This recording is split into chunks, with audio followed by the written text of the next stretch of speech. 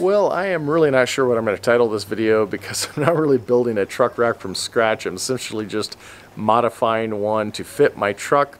So instead, I think I'm just going to give you the backstory as to why I'm working on this project in the first place, and that starts with this canoe right here. Uh, for those of you who saw last year's camping video, uh, you might remember that I went kayaking on a lake with Marley. We had a great time. Well, ever since then, I've kind of kept my eyes open for a canoe or a kayak uh, that was just the right price that I would be willing to buy. And we finally found one. Uh, but the one I found is 14 feet long and I have a six and a half foot long bed and it would be way too long to be able to take on camping trips as well as have our travel trailer back there. So then I started looking for truck racks and I found one the same day, although it was for a full size or a full length uh, truck bed. So what I'm going to do in this video is essentially just cut it down, modify it to fit my truck, and uh, that's really it, but perhaps it'll be interesting. And uh, anyway, let me show you the truck rack and what I plan on doing.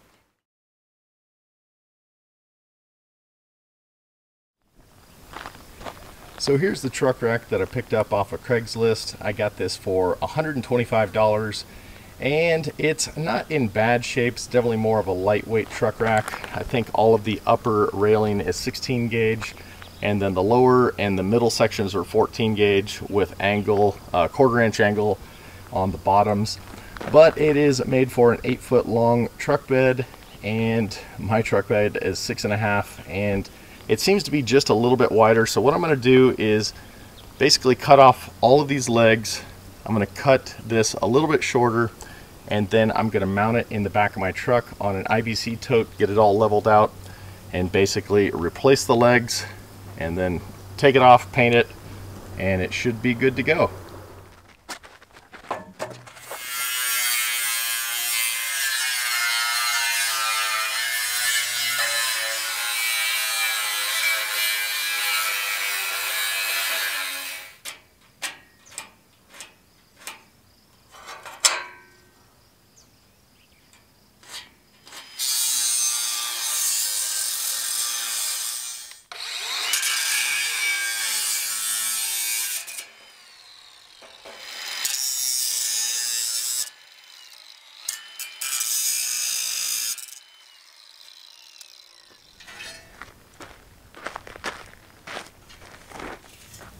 So the first big step is accomplished. I cut this back end off at the length that I want the truck rack to be going forward.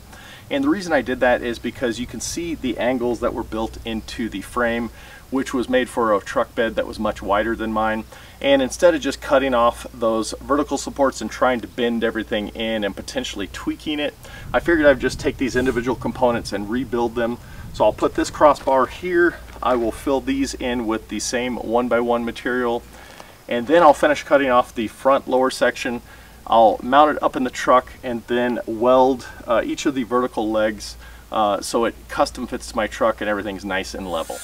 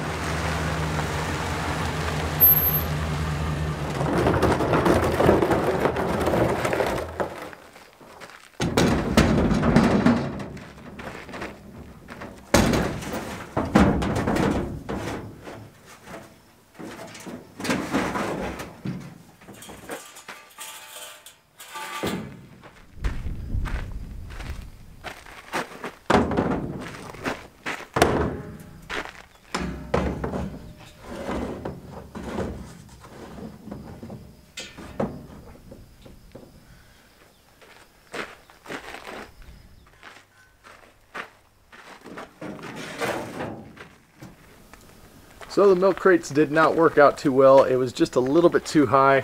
So what I did instead is used some yoga blocks as the spacers on the front and then I just used some uh, paint cans on the back with a couple of boards and I've measured all four corners down to this angle uh, that is sitting on the bed is about 23 and 5 eighths. So I'm going to cut those, tack those into place, and I'll probably do all the rest of the welding once I take it off and then I'll paint it. So the only thing I'm not going to be reusing on this rack are the vertical supports and I don't know if you can see on here but there is a crack that goes through two sides of this vertical support and one of the other ones had a couple of bends like it had uh, hit a tree branch or a carport and uh, I'm just going to use some new steel but I will cut these uh, angled brackets out uh, so I can basically use them again as uh, I guess kind of gussets.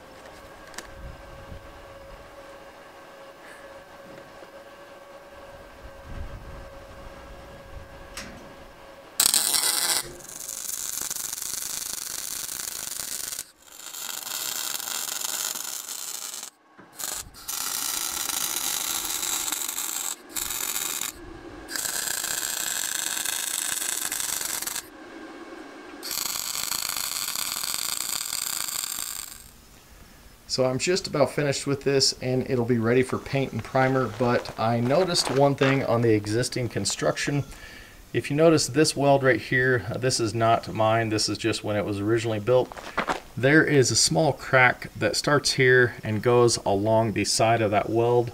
So what I'm going to do is just get the angle grinder. I'm going to kind of cut a score line there to allow some space for my weld to penetrate and basically repair it and then I'll bring the weld down here.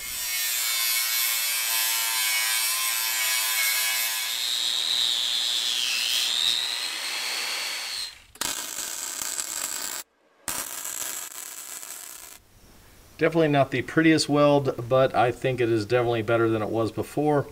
And with that said, I'm going to do this other side too. Just add a weld down that, and then I'm going to prime and paint this, and it'll be done.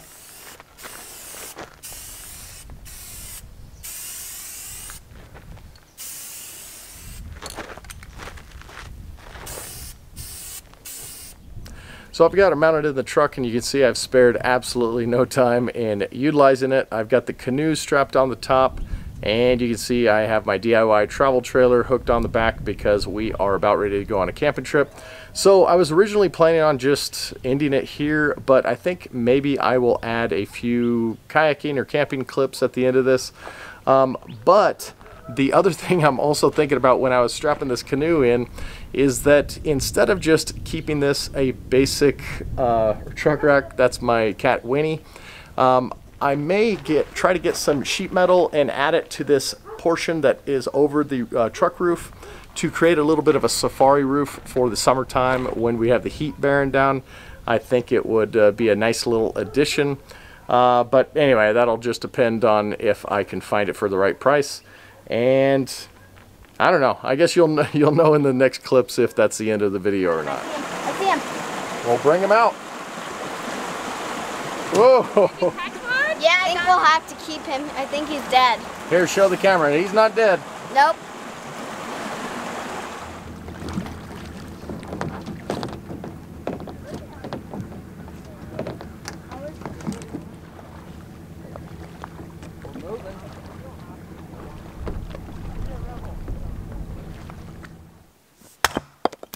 Nice. Do that last one.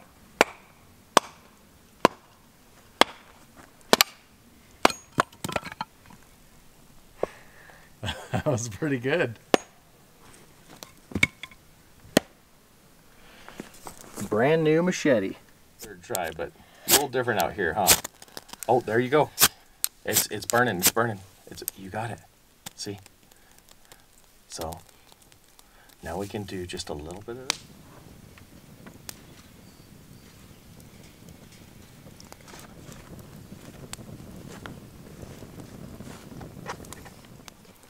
Well, fast forward a couple of weeks and we are back from that camping trip and the truck rack performed as you would expect.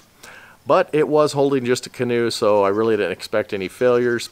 But hopefully in the near future, I plan to haul some steel so that I can start on our little awning carport project for the travel trailer because as I pointed out in some of the previous videos, it's being stored on our back porch and that's not exactly my wife's favorite place for me to store it because it kind of blocks the window and just kind of looks odd. Uh, but anyway, hopefully this was an interesting project. I know it wasn't like the most amazing thing. I was just simply modifying something that I found on Craigslist. Uh, but perhaps it'll give you some ideas that, you know, maybe with just a little bit of effort, you can find something for really cheap, modify it to uh, suit your needs, and, I don't know, enhance your life a little bit. Um, as always, I appreciate you guys watching. Uh, give this a thumbs up if you liked it. Hit the subscribe button if you want to see similar content. And also remember that you can see my videos on Rumble and Odysee if you prefer to watch on different platforms. And uh, I think the next video might be a camping video of some of the stuff we did up there.